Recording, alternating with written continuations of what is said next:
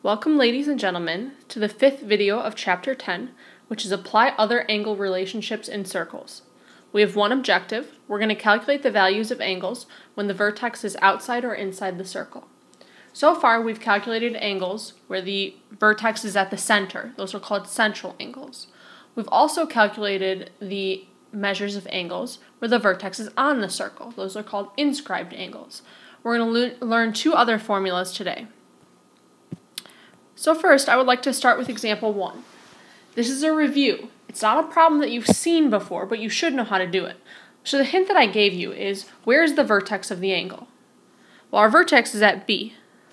So our vertex is on the circle. Okay, so we've learned this before. When the vertex is on the circle, what's the relationship between the angle and the arc? Well, vertex on the circle, if I can remind you, the angle is one half of the arc. In this case, our angle is 5x. That's angle CBD. So I'm going to have 5x equals 1 half, and then the arc that it intercepts is DAB, the 9x plus 20. Personally, I don't really like fractions, so I'm going to multiply both sides by 2. On the left side, that cancels out my 1 half, and I'm left with just 9x plus 20. 2 times 5x on the left side gives me 10x. If I subtract 9x, I get x equals 20. So this is just a new figure for an idea that we already know. When the vertex is on the circle, the angle is going to be half of the arc. Now moving on to example 2 and example 2.5, these involve a new formula. Okay, so it says circle formula sheet. Angle formula when the vertex is inside the circle. Okay, vertex inside the circle, but not at the center. The angle is 1 half of arc 1 plus arc 2. And one note is these are the arcs that I'm going to say sandwich the angle. So the best thing I think is just to jump right in. So example two, we see we have the vertex inside the circle. So the vertex is right here, but it's not necessarily at the center. If the vertex was at the center, the angle would just be equal to the arc. That's a central angle. Okay, so the, the angle itself, so angle 1, is going to be equal to 1 half the two arcs that sandwich it. So if this is my angle 1, this arc is like one piece of the bread, this arc is like the other piece of the bread. So it's going to be 1 half of 120 add 98. So I get the measure of angle 1 is 1 half of 218. 1 half of 218 is going to give me 109 degrees. Okay, let's look at example 2.5. Again, this time we have an angle and we have two arcs. The angle is equal to 1 half the two arcs that sandwich it, the sum of those arcs. Okay, looking at this angle 102 that I have, the two arcs that sandwich that angle are arc BC and AD. Now I know the angle, but I don't know either arc. Looking at this arc Y and this arc 95, those sandwich this little angle right here. So I really need that angle that I just marked in red. Well, I see that I have a straight line. So I know 102 and that red angle are going to be supplementary. So if I take 180 and I subtract 102, I get 78. So this little red angle is 78. Now I'm ready to use that formula above. So the angle is equal to 78 equals 1 half the two arcs that sandwich it. So that's going to be y plus 95. Again, I don't really like the 1 half, so I'm going to multiply both sides by 2. The left side becomes 156. On the right side, the 1 half and the 2 cancel, and I'm left with y plus 95. If I subtract 95 from both sides, I got y equal 61 degrees. Okay, so again, what's really important to remember is that angle has to be sandwiched in between the two arcs.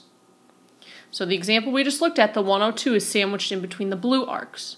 The 78 is sandwiched in between the red arcs. So I have an example that I would like you to try. If you could right now, pause the video and try this one on your own, please. I would like you to calculate the measure of angle 1. Good luck!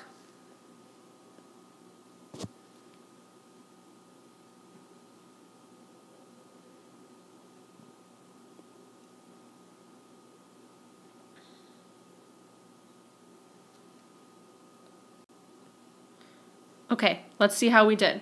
We'll notice in this figure that the vertex is inside the circle, right here, but it's not at the center.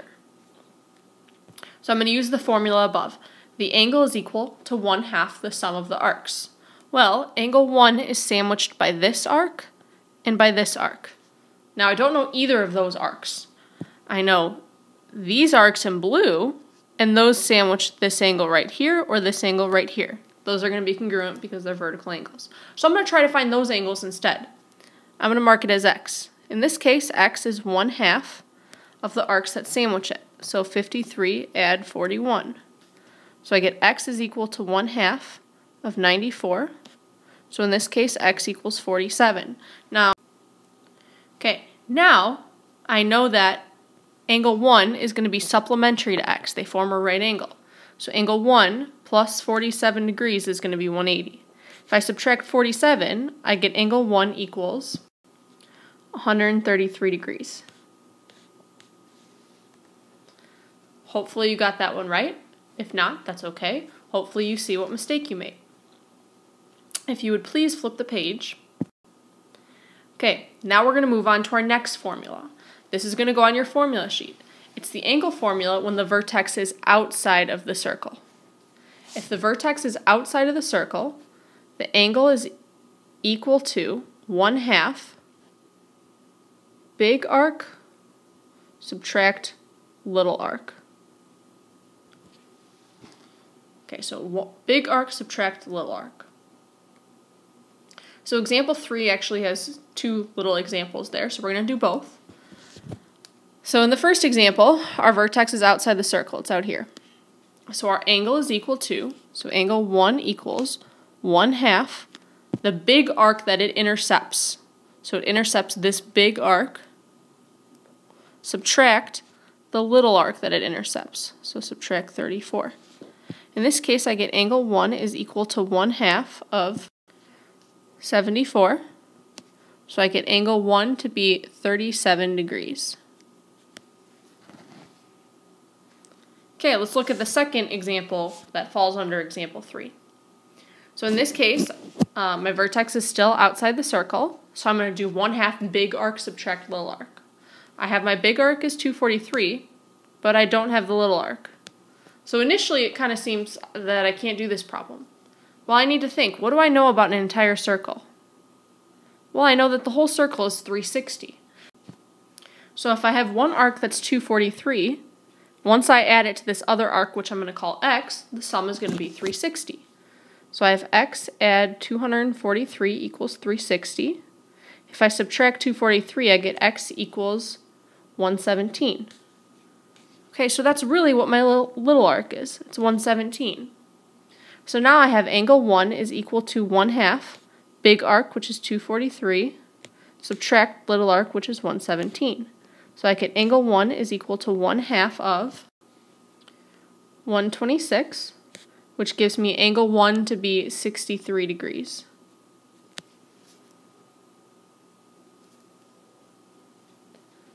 Okay, so the next step is that we're going to add some more variables variables in, make it a little difficult. A little more difficult at least. So let's look at example 4. It says find the value of x. Okay, so I'm going to notice that I have a vertex outside the circle. So my angle is going to be 1 half big arc subtract little arc. In this case, my angle is x plus 2.5. That's going to be equal to 1 half my big arc, which is 4x plus 5, minus my little arc, which is 50. Okay, so I'm going to start by simplifying that right side. So I have x plus 2.5 equals 1 half, 4x. I have 5 subtract 50, which is going to be negative 45. Okay, I don't like the fraction, so I'm going to multiply both sides by 2. On the right side, the 1 half and the 2 cancel. I'm left with 4x minus 45. On the right side, I have to distribute the 2.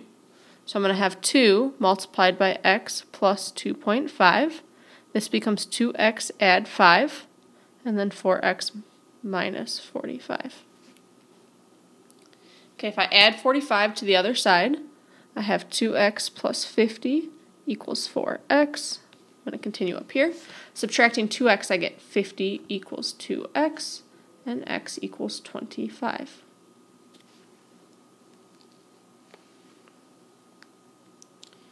Okay, the next example I would like you to try on your own. You need to be very, very, very careful when carrying out the algebra here. It's very easy to make a mistake. Pause the video, try this one on your own, please. Good luck.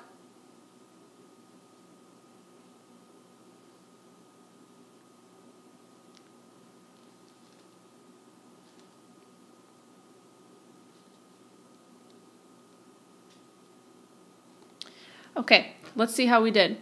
So, vertex outside the circle. So my angle is equal to, 54 is equal to 1 half, big arc, which is 13x minus 6, subtract little arc, which is 5x plus 14.